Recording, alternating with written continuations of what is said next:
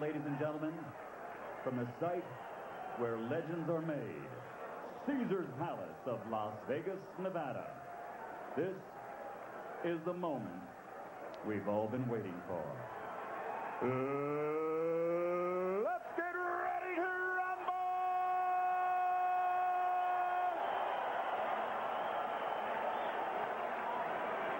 Introducing first, fighting out of the blue corner, wearing the multicolored trunks and weighing in at 139 pounds.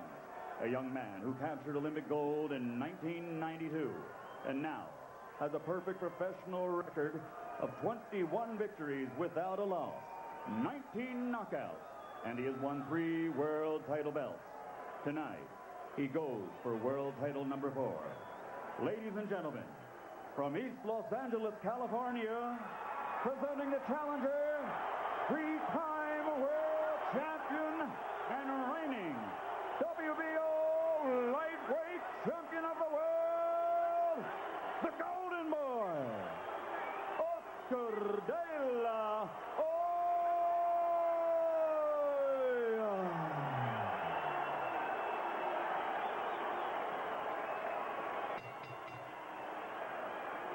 And his opponent across the ring, fighting out of the red corner, also weighing in at exactly 139 pounds. Wearing white, trimmed with blue and red, he brings a professional record into the ring of 97 victories, 79 knockouts with only one loss and one draw. One of the finest in the history of boxing. In that record, he has won five world title bouts and is considered by many as one of the greatest fighters of the last half century. Ladies and gentlemen, damas y caballeros, con Culiacan, Mexico, presenting the five-time world champion and reigning WBC super lightweight champion of the world, Julio Cesar Chavez.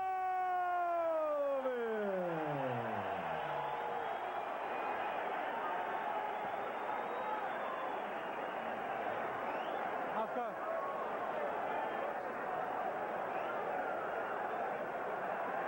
Okay, Julio, Oscar, you leave that record en el camerino?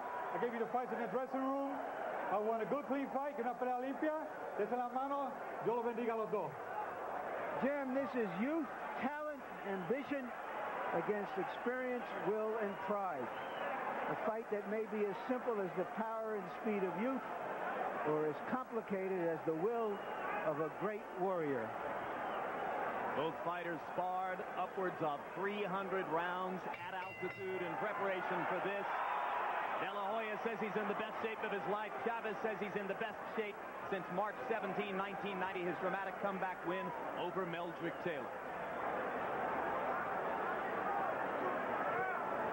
First punch of the fight is a De La Hoya jab.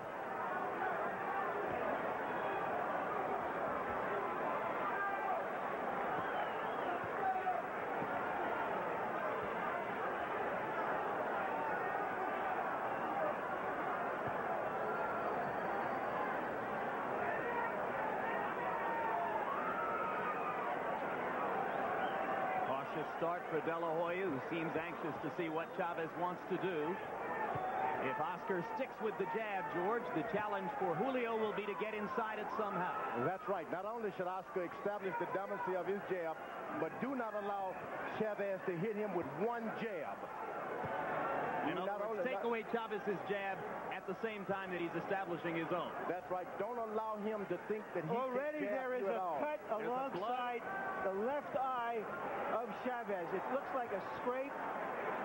Not dangerous, but it's very early in the fight for blood to be showing. It came from the one right cross that De La Hoya landed, and now more blood as De La Hoya again lands with the right. And Chavez is already starting to flow above the left eye. And De La Hoya is landing that right hand, George. This is a veteran. He didn't come here tonight to lose the fight in one round the stick the plan. If the jab open up the cut, stick with the jab.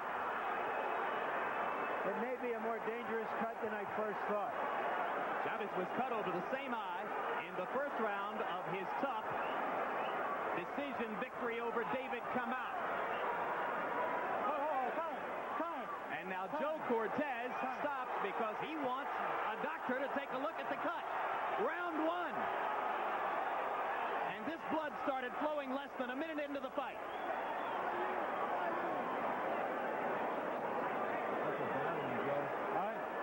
That cut was open in training. You can believe that. Hard to imagine that one right hand could have done that much damage, but it came after De La Hoya landed his first right cross. That was a big cover-up. And Chavez suddenly has more purpose. I think he realizes that this fight could be stopped sooner or later by cuts.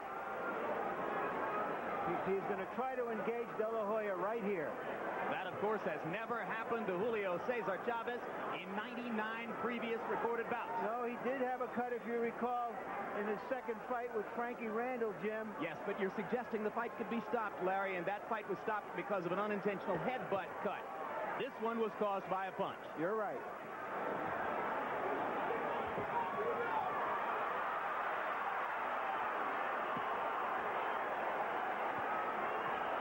Round one has been like Christmas for Oscar De La Hoya. There's already desperation in Chavez.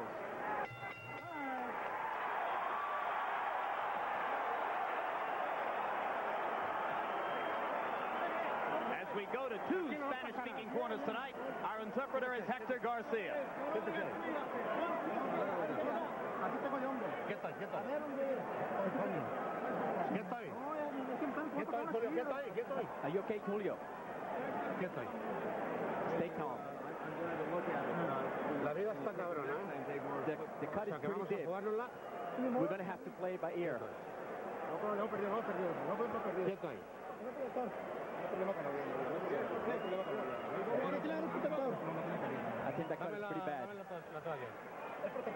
Quieto ahí. Ahora mismo no está sangrando. Dame la He's toalla. not bleeding now. Just give me the towel. Quieto ahí.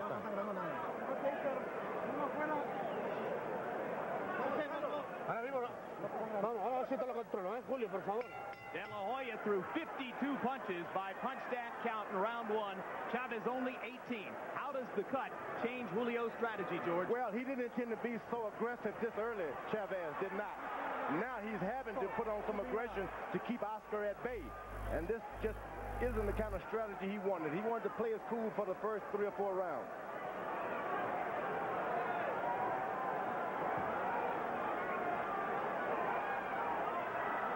And for De La Hoya, just stick with the jab and the plan, right? That's right. De La Hoya starts trying to open up this cut with too many right hands. The fight goes into the fourth round. Chavez gets renewed strength and courage, and he can change everything. Keep your cool, keep jabbing. Hoya still picking his shots here in the first minute of round number two. So far, the blood not flowing again on Chavez's left eye. It has started again, Jim.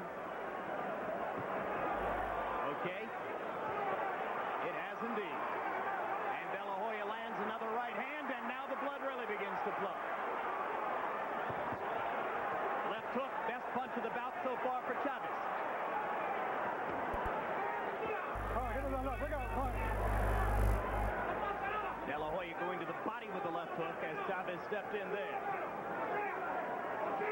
De La Hoya is starting to bring his chin down just a little lower.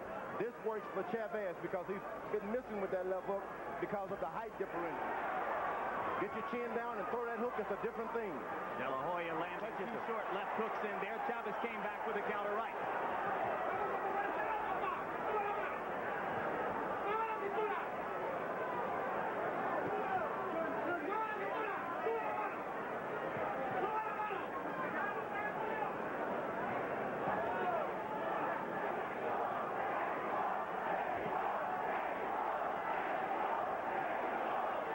Chavez's fans already trying to rally him, chanting Me- Mexico, Mexico, Mexico.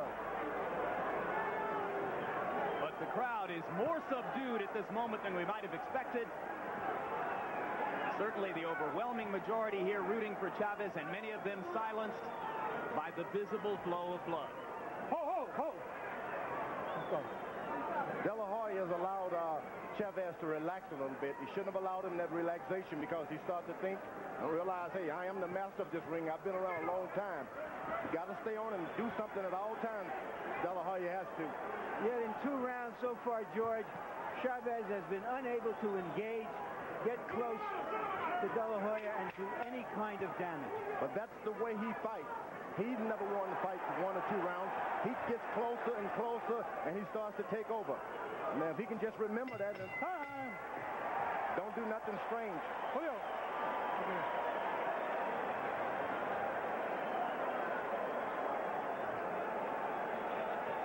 Tranquilo, ¿eh? Que no pasa nada, ¿eh?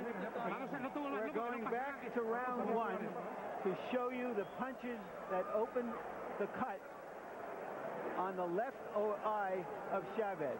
And that was a left jab to the left eye of Chavez. Normally you would expect a right hand to open a cut there, but this was a crisp left jab to the eye. Entirely correct, and the right hand that I have talked about came after that, so uh, Vamos a por it landed and caused the cut even earlier than might have first appeared to be the case. Ahora segundo afuera. Venga, me cago en- Seconds out. Con la gallina. Así. La mano sobre-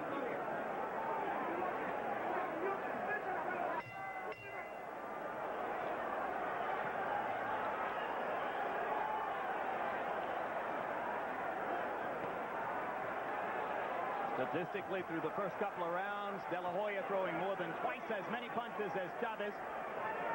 And you can see that Harold Lederman has given the first two rounds to the 23-year-old challenger. Oscar De La Hoya is starting to land jabs to the stomach. That's very important if you're fighting a puncher to take his power away from him in case the fight goes longer than five or six rounds. But it's also going to bring his chin down into Chavez's punching range, isn't it? No, De La Hoya is landing the left jab to the body, which means Chavez's power will start to diminish as the fight goes on.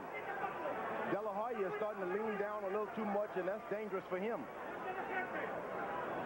One thing Chavez has not done, he has always wor- worn down his opponents, George, by punching to the body. I don't believe in two All right, rounds watch plus legs, that he's on. landed a body Let's punch yet. Let's go. That's because of that early cut. Sometimes you get a little hesitant.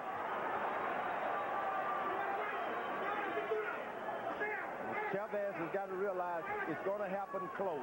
It's not going to, anything is going to happen from the outside. You got to get close. They stay out for the time being in De La Hoya's punching range. And he continues to control Chavez with the jab and with body punches. And Chavez going backwards more than we've ordinarily seen him go backwards. For good reasons. Oscar De La Hoya has a jab like an ordinary right hand by the average fighter. That jab hurts you. It makes you want to stay away. Hard left hand to the body by De La Hoya as Chavez came in close. Then De La Hoya Hey, backs come on, up come on. to try to Come on, find hey, hey, punching come on. range Hey, again. Hey, hey, hold. Hey, come on, give me a clean round. Give me a clean round, you hear? Let's go. Let's go. That's an old Willie Pep move there. Hard counter left inside there by De La Hoya as Chavez was stepping in. Oscar lands the uppercut and a right hand. He is finding the range and tattooing Chavez around the eyes. But Chavez was able to get a little closer that time. Although he's missing from outside, he was able to get a little closer. He's going to have to take a lot of leather to get in close, George, unless he can find a better formula. And he should have uh, included that on the cost of the house when he took this bout. You're going to have to take some and give some too. Take a lot and give some. De La Hoya getting just a little bit more aggressive now as the clock winds down in the third.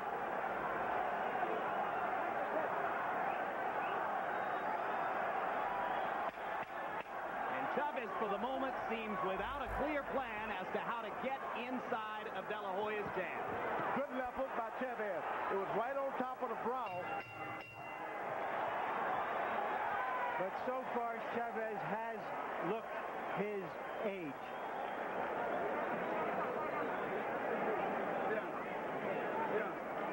Say flip. Aquí está exacto. Aquí está exacto. You have to use the left hand.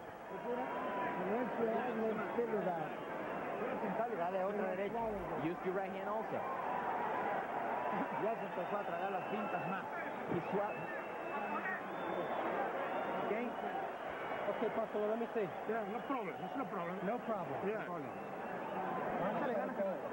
Julio, no tienes problema. No tienes problema. Nomás eso, lo mismo que tenías, no tienes Just problema. keep doing it. Same thing you were doing first, when you first Julio, started. me cago en Dios. con todos tus cinco sentidos. Tú eres demasiado que ese tipo. Vamos a darle ahí. Vamos a darle ahí, problema. Vamos con todo. Vamos, se, se cansado, let's go. arriba, vamos a ponerle por dentro.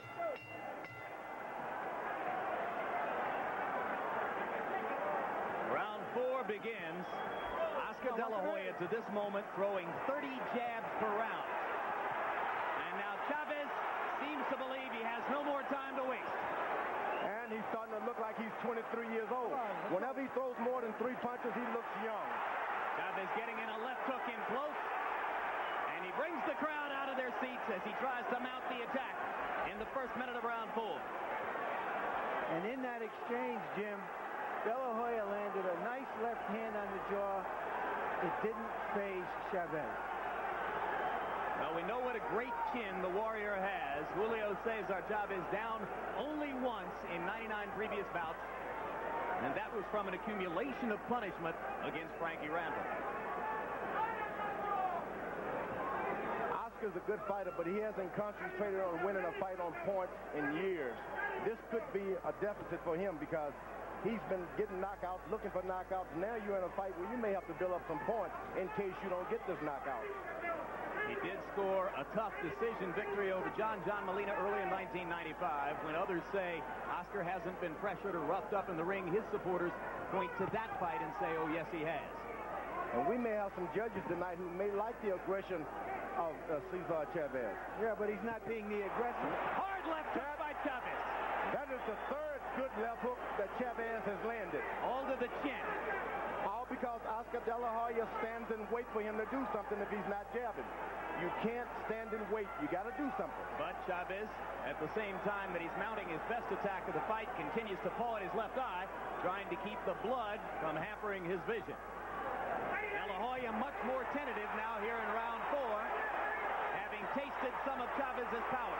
Good short left hook by De La Hoya, and he comes back with a right hand. And the blood bothering Julio as De La Hoya lands a vicious left hook. Now his nose is bleeding too. De La Hoya is starting to be himself now. Forget about all of that strategy and the new guy in your corner. Get out there and be yourself. Brutal left hook to the body by De La Hoya. Chavez's will seeming to be sapped now, as in the last minute of round four, it's been all Oscar De La Hoya. Now he, Fine, get off on it. Chav, De La Hoya goes back to the stomach, which is ideal for a youngster. I can't believe it. And Cortez takes Chavez to Flip Homansky. Get in our corner. Get in our corner.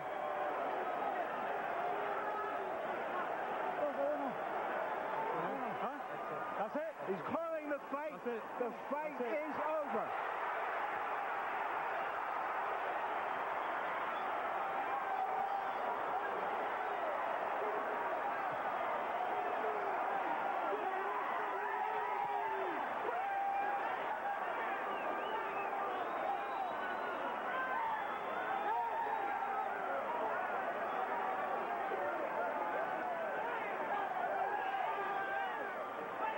Not for nothing, George, do they call him the Golden Boy.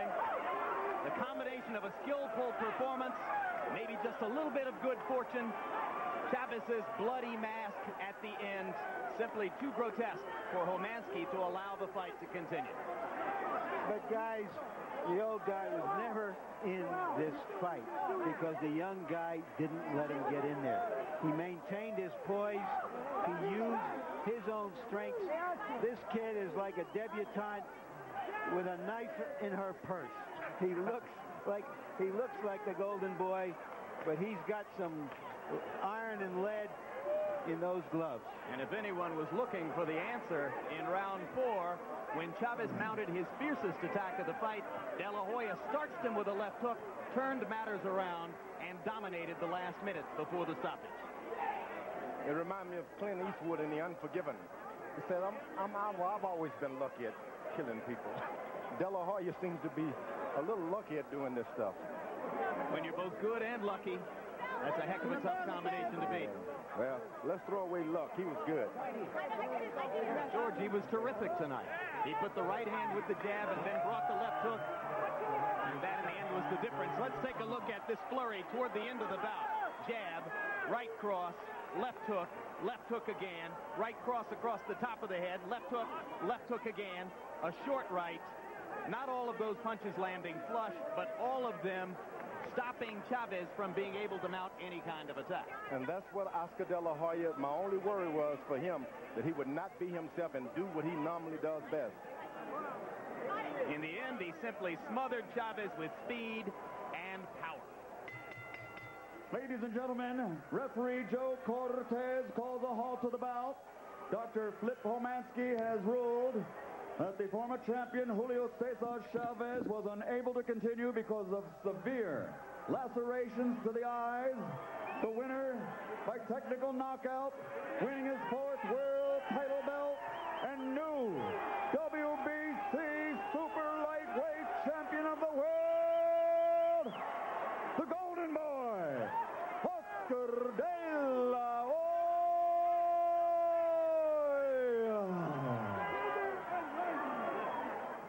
Well, as a useful piece of trivia, no longer meaningful here, it's worth noting that Oscar De La Hoya won all three rounds on all three judges' cards to start the fight, so there was no funny scoring uh, at that early stage of the bout, and what a performance in round four, George.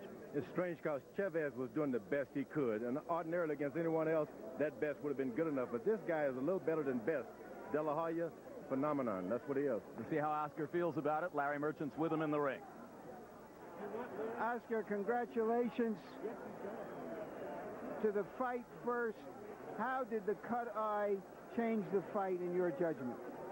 Well, in my judgment, Julio Cesar Chavez had something more to worry about in his corner. We knew if a cut, a broken nose, or if he was hurt, that would change all that during the fight. So that's what we try to accomplish early on in the rounds. What do you mean by that? What do you mean by what you just said? That you knew if something like that happened, he would have a problem? Well, Julio Cesar Chavez, once they attack him, once he knows that he can back up a fighter, he's in trouble. He's lost. And what we try to do, we, we that's that's our that was our game plan, our men, our mental game plan, to have him think up in his corner, because when he's thinking, wow, this guy throws hard jabs, this guy throws left hooks, and then the cut occurs, he has something else to worry about instead of uh, instead of his boxing boxing tactics, he has the cut to worry about. So you weren't surprised after that cut that he didn't seem to be the uh, relentless aggressor that he was at his best. Well, Julio Cesar Chavez was still the aggressor. He was still putting pressure. He's a true warrior. He's a true champion. But the blood, the cuts, the broken nose was affecting him. You say the broken nose. You, do you know that he, you broke his nose as well? It felt on my left hook as if I hit a good, solid left hook, and the blood just started gushing out like Genaro Hernandez's nose the way I did to his. All right, we're going to take a look at a replay of the punches that caused the cut. Describe what you see. Well, right here I was throwing the jabs. I think that right, that straight jab, that's when the cut, the blood started coming down. That jab right there, stiff, straight jab that we were working on. What did it feel like to see him in so much trouble, to see the blood gushing from his eye, this legend, and the chances getting larger and larger that you were going to take him? Well, I was very surprised because uh, Julio Cesar Chavez, he's known to get cut. He's known to have a, a very tender nose. But I really didn't think that my stiff jab was going to cause a, a big gash over the eye. I guess I was wrong. I, I kind of try to uh, stay humble about my punches because I believe now my punching power is pretty strong. But of course, still we have much to learn in the gym. What do you feel now about how Mexican and Mexican-American fans will treat you having won this fight in this fashion? Well, I hope they're on my side. And hopefully there, there's some that are on my side because I want to I want to try to be like Julio Cesar Chavez. I want to try to be like the great champion that he is, and he will still be the great champion of the future because he's a he's a great person inside the ring and outside the ring. Thank you very much, Oscar. Jim? The master plan for Oscar De La Hoya appears to call George for one more fight at 140 pounds and then up to 147 where there are a lot of big name opponents potential big money fights. Do you think he'll carry his punching power up another seven pounds in weight? Yeah, I do believe because this guy has a tendency to train real hard. And if you train hard, the power seems to follow you up no matter what weight you go. Most guys try to put on the extra weight, and they don't take the hard training along with them. But this guy trains hard, so power follows. All right, let's take a look at a punch stat profile of what happened in three-plus rounds. De La Hoya landing 94 punches to only 35 for Chavez. Much higher connect percentage. De La Hoya was controlling the fight with his jab, throwing 30 jabs per round in the first three rounds. And as you'll see, as they went 2 minutes 27 seconds in the fourth round, De La Hoya was still throwing 30 jabs per round. Now let's go to Larry Merchants, who is with the beaten Julio Cesar Chavez. Julio, how did the cut change the fight for you? ¿Cómo la, la cortada cambió la estrategia de tu pelea? Ya, sí, ustedes vieron que, que fue un golpecito. Yo ya estaba un poco lastimado de la ceja. He was already he was already hurt uh, uh, over his eyebrow from uh, Eh, previously. Entonces yo no quise posponer la pelea And I. I, I really didn't want to postpone the fight because of it. Ustedes vieron que el golpe que ni siquiera me tentó, nomás fue un rayón y entonces se me abrió la cortada ya, ya no, pude, no podía ver del ojo. You guys noticed it was uh, just a uh, minor punch and uh, it just opened the cut. Pero eso de que Oscar de la Hoya tenga una pegada fuerte, sinceramente no. But really, that uh, that Oscar De La Hoya has a big punch really doesn't. Nada, no sentí, really su, no, no sentí su pegada, simplemente no, no podía ver. I didn't even feel his punches. I just couldn't see because of the blood. Pero voy a, voy a volver, voy a volver, voy a ganar dos peleas y, y voy a estar ya en buena, en buena con mis cejas. But I, I will. I, I'm going to come back. I'm going to fight another two more fights, and then I'm going to que give a rematch. yo sabía que esto podía pasar muy rápidamente. I just knew this could happen very, very fast. Pero ya, pero eran tres meses de preparación, era mucho pérdida de dinero. It was uh, through, uh, three months of preparation for this, and I didn't want to uh, cancel because All of right, a minor uh, cut. uh, George Foreman uh, speculated when that happened.